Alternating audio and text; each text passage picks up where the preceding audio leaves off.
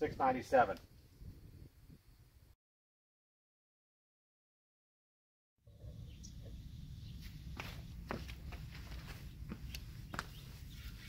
So today I'm going to do a, a, chrono test on this rifle that I built.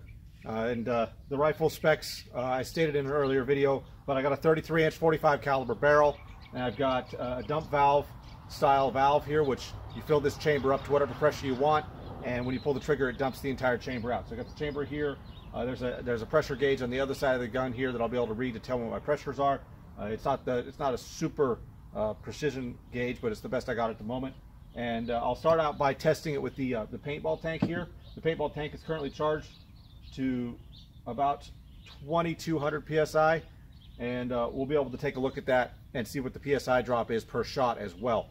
Um, the output on this tank is 800 PSI per shot and they are fairly consistent, especially if you allow the uh, the chamber to settle between the, between shots as opposed to cycling quickly. Cycling quickly, you lose some of the uh, consistency on these tanks, but for uh, for shots that are allowed to settle, it'll be nice and steady. So what I'm testing is I'm going to test three different bullets. I'll put a picture at the end of the segment with the uh, with the chart with the bullets on it. But I've got the biggest ones here are 196 grain, lubed and sized 45 caliber. They're about 454 sized, so they're really consistent.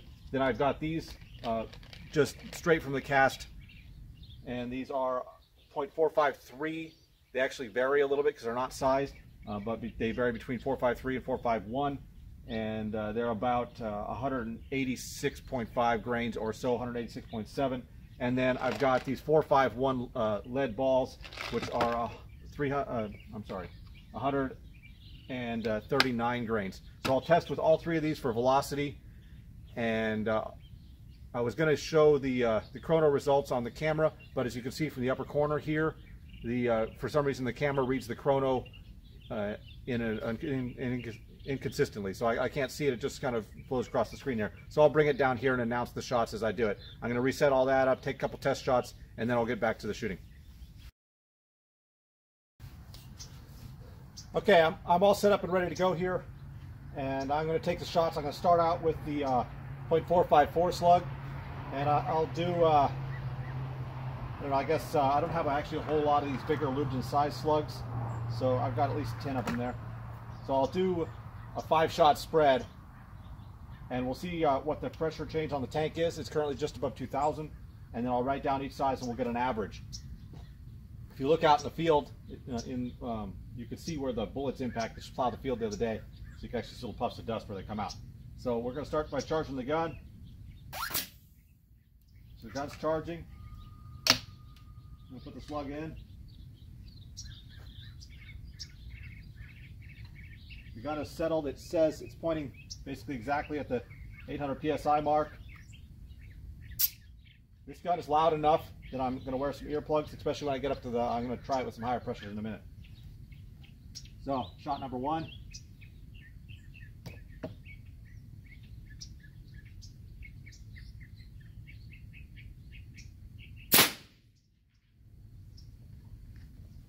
Four nine zero.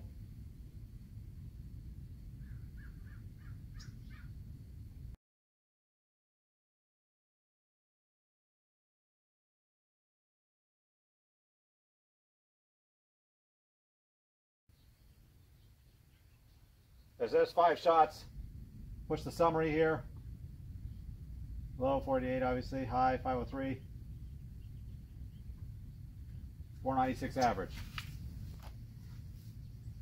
Now we're going to move on to the uh, oh, 453 slugs. I'm going to reset my chrono.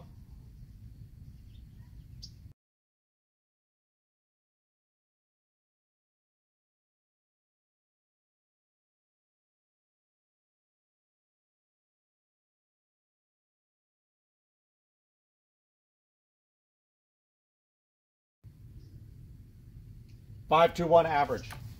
Final group, I'm going to use the round balls. I've recharged my cylinder uh, so that I could stay up in approximately the same pressure ranges. And uh, so we're going to take these shots now. These should be the fastest.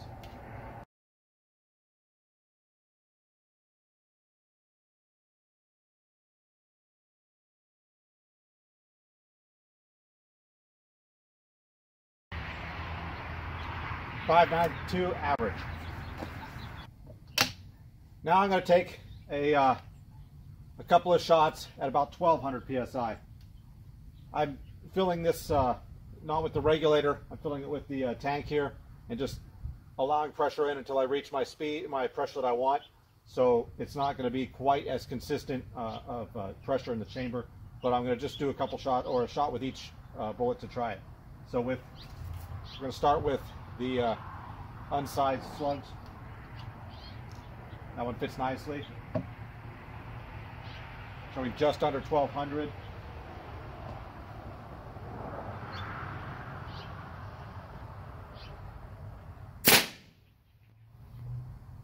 That one was 592. Lubed and sized at 1200.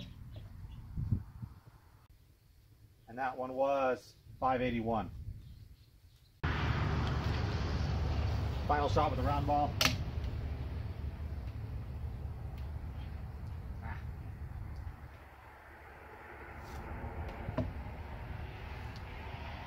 Hundred. 675. I've maxed out my gauge at 1500, maybe a couple of pounds more. Round ball.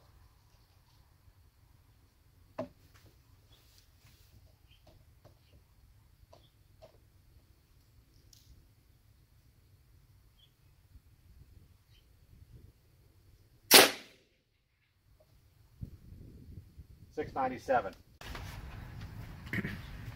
So I'm done with testing and uh, I'll give you the numbers just real quick here. Average on the uh, sized slug was 496, so under 500. At 1200 psi, I got I only took one shot and I got 581 feet per second.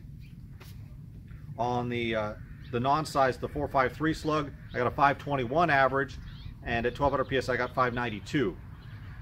And then on the round ball, I got 592 on the average, and these all the averages are 800 psi with five to six shot spreads. And then I got 1200 uh, at 1200 psi, I got 675, and at 1500 psi, I got 697 on the velocity. So actually, not a lot of change for that 300 psi more gain.